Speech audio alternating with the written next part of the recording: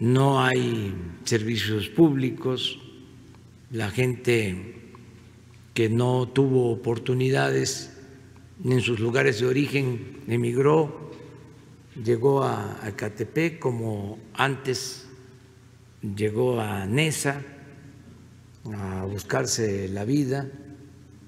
Y así fueron eh, poblándose estos eh, municipios, pero siempre con carencias de servicio.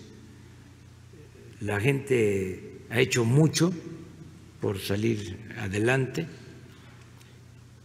Vamos a ver cómo está lo del abasto del agua. Nosotros estamos eh, trabajando ya en apoyar para el desarrollo urbano en estos municipios. Hay un programa para eh, municipios conurbados aquí en la Ciudad de México.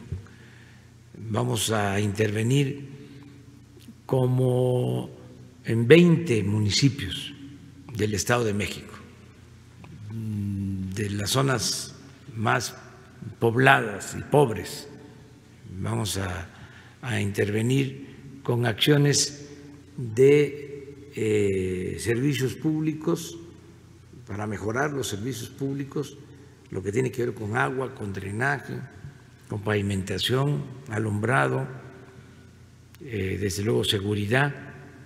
Tenemos ya un plan que se está eh, llevando a cabo junto con el gobierno del Estado de México. Le voy a pedir a Román Meyer que les informe